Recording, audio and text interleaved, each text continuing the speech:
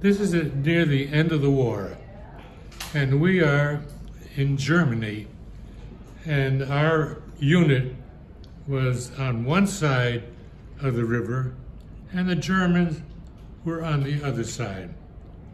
I'm standing at the top of the uh, of the river bank, and uh, with with, the, with my guide, and they start shooting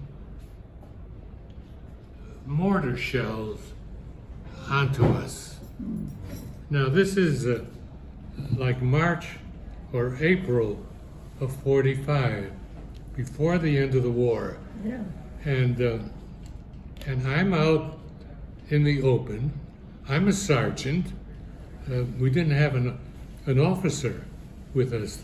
They all got killed.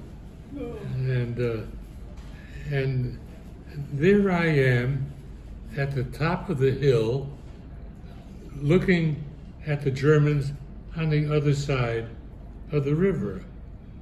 And very soon, the mortar shells, uh, I, I don't know, uh, start coming in. And I'm on the hill. And, and I remember, and I said, this is it. I've had it. The, the shell, I'm out in the open. The shells are coming in. There's no escape. I can't get under a tree. I can't get into, Terrible. you know, this is it. When the shells start coming in, they don't explode. They Were they misbehaving They or are they don't not supposed explode. What? to? Are they not supposed to explode? They're supposed to explode. So they were misbehaving. They were something Well- was wrong with them.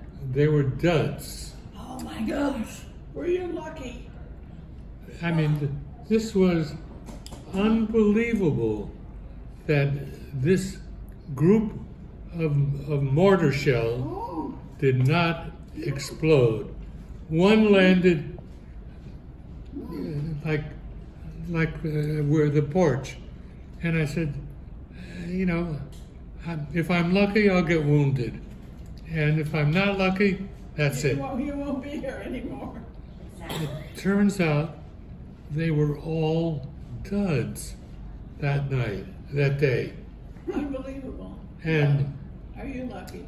So we talked about it afterward that they have been made by maybe by prisoners who sabotaged it.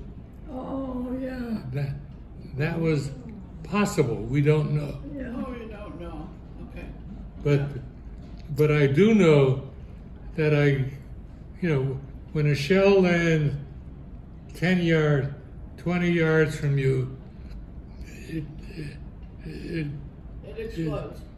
So I hear the plop, and it didn't explode.